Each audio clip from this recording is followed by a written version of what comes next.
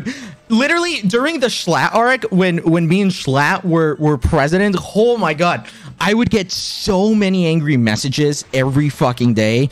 Be like, you fucker, son of a bitch. You teamed up with Jay Schlatt as a president? You need to fucking die. And other people would straight up say, like, "Oh, I gotta fuck." Straight up, some people would straight up send death threats because because we did a Minecraft presidency thing.